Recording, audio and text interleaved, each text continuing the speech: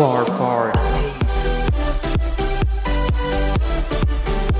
Yes, folkens. Mitt navn er Barfa, og velkommen tilbake til min kanal. I dag skal jeg ha en liten vlogg der jeg bare skal si hva som skjer denne uka.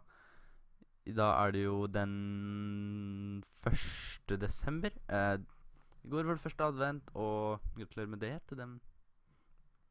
Eller god jul, heter det vel. Eh, det kommer sikkert en annen video eller en stream der jeg sier god jul, kos dere. I så fall blir det på Jeg vet ikke helt hvem dag det blir. Um, men uansett, i dag, den første, kommer det da den vloggen her. At jeg forteller hva som skjer, og så videre og så videre og så videre. I morgen, den 2. desember, kommer det Skal vi se, hva skal vi ta i morgen den dagen, da? Eh, da kommer det Minecraft. Survival Games. Maybe. Ja, vi tar Survival Games på tirsdag. Eh, onsdag tenkte jeg at jeg skulle prøve å få til et eller annet skrekkspill, kanskje. Eller så blir det Nei, skrekkspill det tar vi på fredag. Fredag tar vi skrekkspill.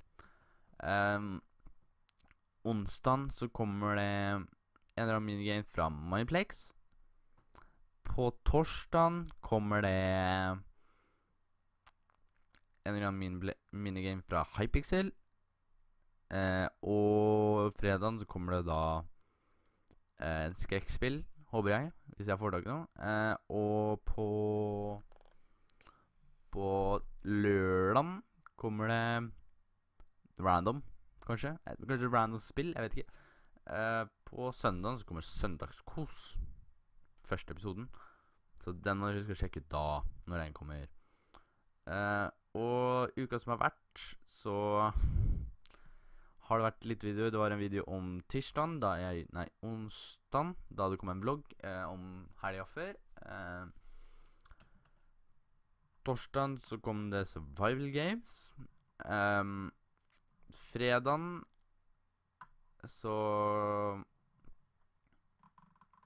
vet jeg ikke, for det her filmer jeg før den fredagen. Eh, det her filmer jeg onsdag som bloggen kommer ut. Eh, jeg vet ikke. ehm, så jeg har ikke noe mer å si enn det, tror jeg.